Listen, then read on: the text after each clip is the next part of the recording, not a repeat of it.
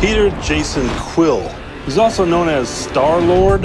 Who calls him that? Himself, mostly.